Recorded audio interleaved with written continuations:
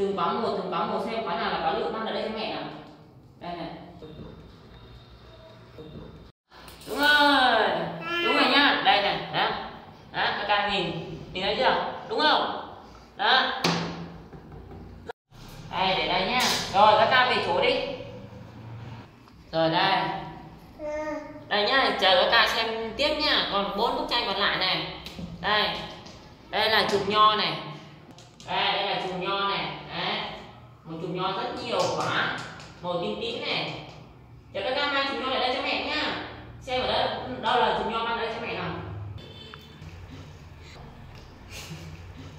Không phải, đây không phải là chùm nho. Các ca nhìn này.